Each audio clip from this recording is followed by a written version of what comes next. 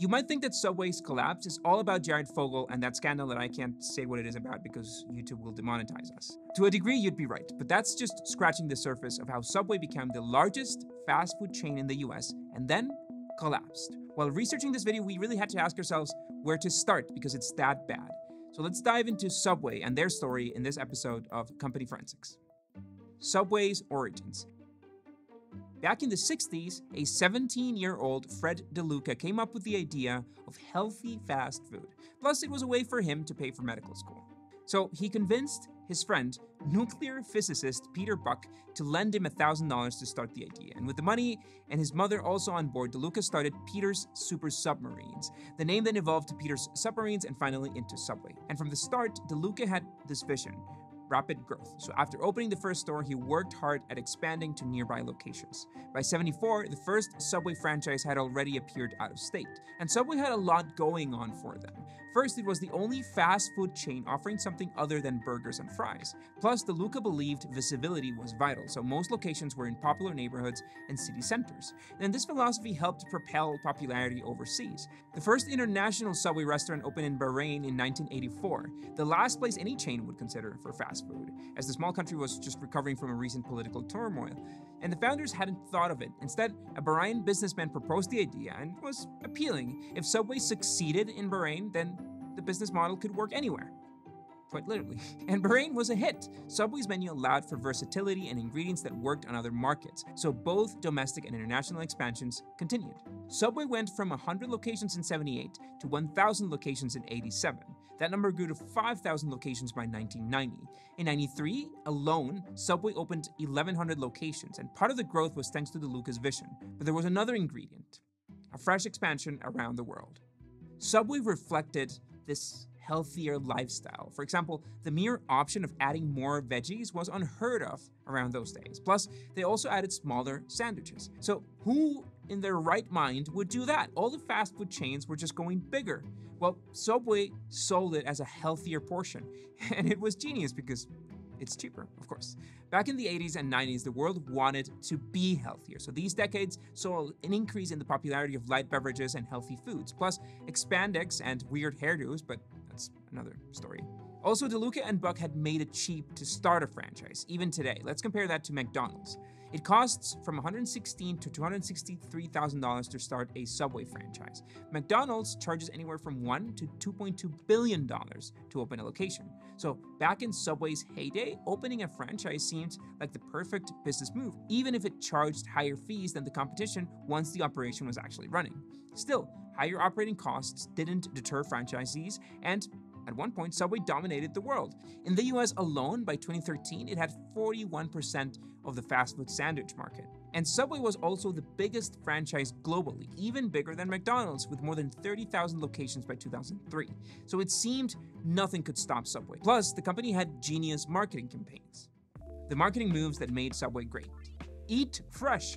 Company's slogan was easy to understand and somewhat accurate. After all, Subway was fresher than other fast food chains. And then there was one promo in particular. Back in 2003, one franchisee noticed that during the week, hungry college students packed his restaurants, but during the weekends, it was empty.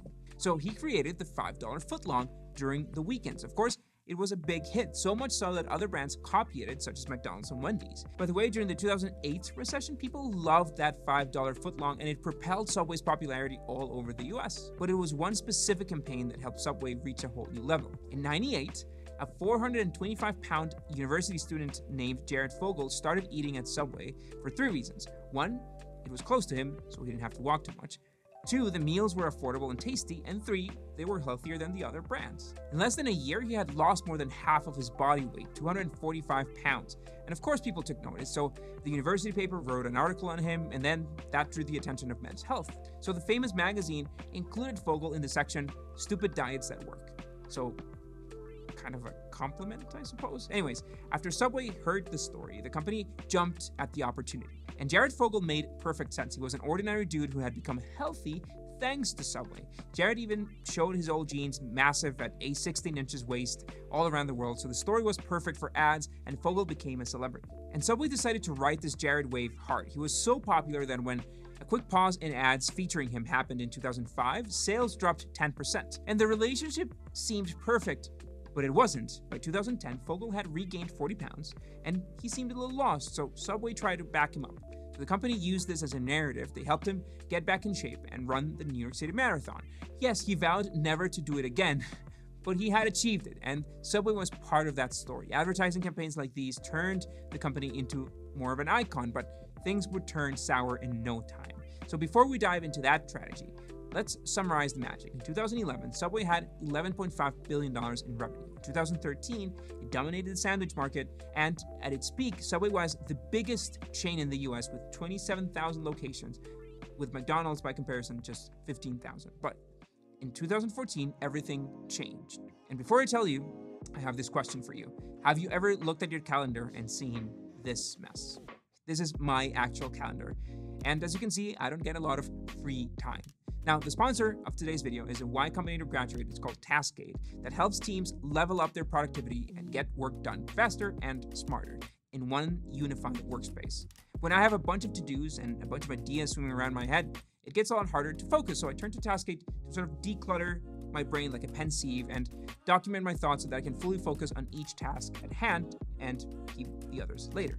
Taskade can be used by teams or by individuals to create checklists, mind maps, and workflows. Whether you're managing projects or planning future milestones, getting work done with Taskade is simple. You can collaborate with team members on the same page and edit projects together all in real time. And Taskade is free to use for individuals and for teams. You can sign up for free at taskade.com or using the link in the description. And for the first thousand people that use the code in the description, you'll get a 100 100% off lifetime discount on your Taskade Pro subscription. So it's free forever for the first thousand people. Now, back to the video and the nasty part the Fogle debacle. If you look at the numbers, 2013 and 2014 were the beginning of the end for Subway. In 2014, sales dropped 3% and continued dropping to 13% in 2020. And as a result, that famous market share shrunk from 41 to 28%. But why? Remember, I said that we didn't really know where to start. Well, we've reached that point in the video, so the best thing to do is just get the ugly out of the way. In 2014, reports surfaced that Jared Fogle had abused minors and had a shit ton of pornography in his computer. But they were only rumors, and that's until the FBI raided his house and found tons of material. So Fogle went to court. And things only got worse. You see, Subway had denied any knowledge of this. They tried like crazy to free themselves from the controversy, but they couldn't. Documents revealed that Fogle solicited underage sex from a Subway employee in 2008. The employee reported him, but the company washed its hands. Their excuse was that since Fogle wasn't an employee, they just couldn't do anything. But reports show that the company also silenced complaints about Fogle's behavior, such as propositioning minors at Subway events. In 2015, a court sentenced Fogle to 15 years in prison. While this did cause a significant dent in Subway's reputation, they managed to recover. After all, you know, if you have a good PR agency, a massive enterprise should be able to handle that. So it's just that Fogle wasn't the only issue.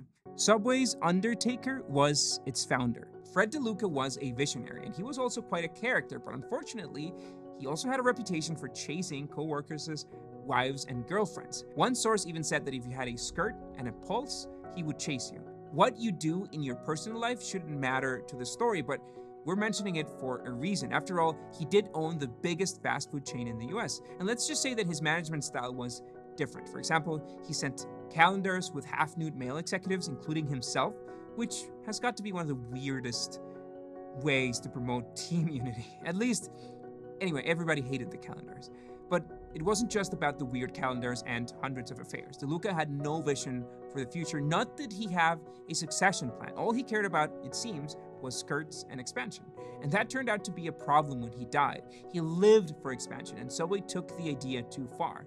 Do you remember the high operating costs? Well, franchisees opened more stores to increase revenue, which is something that Subway actively pushed. But many of those times, they were so close to other existing locations that they were just cannibalizing themselves. Subway was effectively killing itself, fulfilling DeLuca's dream. The problems didn't end there. In its heyday, Subway allowed franchises to order local produce daily, but they changed the policy to once a week, twice if sales are high. So have you seen what happens to lettuce and tomatoes after a week? It's of course no good. Subway was butchering the very same items that made the company stand out with the whole eat fresh thing. The problem was that they weren't alone anymore. Other brands offered healthy sandwiches of much better quality with lettuce that wasn't a week old. So you would think Subway would update its menu, but it didn't. Instead, it remained almost unchanged for two decades, with the company only focused on growing, growing as in locations. Sure, it had tens of thousands of stores, but Subway also had an old fashioned product, abusive business practices, and was unwilling to change. So by 2021, the brand couldn't keep up and had already closed 5,000 locations, and there were no signs of this slowing down.